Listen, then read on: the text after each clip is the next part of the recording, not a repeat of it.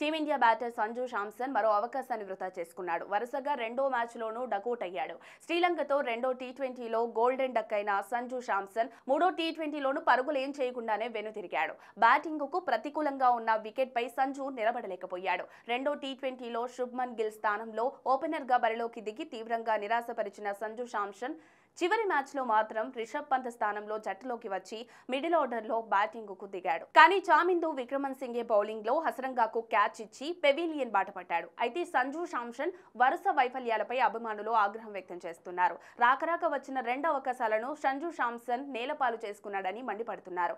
దరిద్రానికి Sanju Samson brand ambassador అని సెటైర్లు పేల్చుతున్నారు. సంజు శాంసన్ను ఎవరూ రక్షించలేరని అతని కెరీర్కు ఎండ్ కార్డు పడినట్లేనని అభిప్రాయపడుతున్నారు. ఓవైపు రిషబ్ పంత్ రీఎంట్రీ మరోవైపు ధృవ్ జురేల్ జితేష్ శర్మలతో పోటీ. మధ్యలో రియాన్ పరాగ్ ఆల్రౌండర్గా ఎదుగుతుండటంతో సంజు శాంసన్కు జట్టులో దారులు మూసుకుపోయాయి. వికెట్ కీపర్ కాకుండా టీ ట్వంటీలకు రిటైర్మెంట్ ప్రకటించిన విరాట్ కోహ్లీ స్థానంలోనైనా సంజు శాంసన్కు అవకాశం దక్కుతుందని అంతా భావించారు. కానీ అతని చెత్త ప్రదర్శన టీమిండియాకు దూరం చేసేలా ఉందని ఫ్యాన్స్ ఆవేదన వ్యక్తం చేస్తున్నారు.